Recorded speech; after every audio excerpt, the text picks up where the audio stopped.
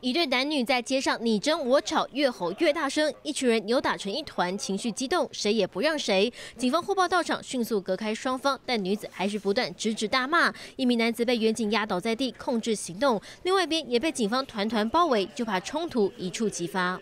超危险的，嗯，因为怕怕我们经过的时候会被他误伤到啊，因为又带着小朋友，有没有？说行动也是比较。不像，就是像没有抱小朋友那么方便啊。有些争执啊，有些喝醉酒的啊，然后醉倒在路边的啊，吵架的啊，可能打架的啊，是都常都常蛮常看到的。街头大乱斗就发生在新北市三重仁义街，四号下午四点多，当时一对男女因为感情纠纷大打出手，附近居民全都吓坏了。当时男子拿着武器来到女子的住家，猛按门铃，希望能够见对方一面，没想到遭女子拒绝，他竟然是砸毁路边停等的车辆。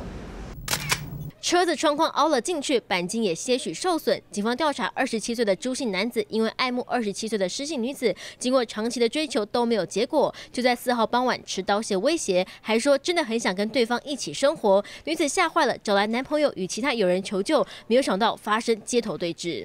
朱姓男子供称啊，自己疑似联络不到失信女子，啊，于是心情非常郁闷，随意的持。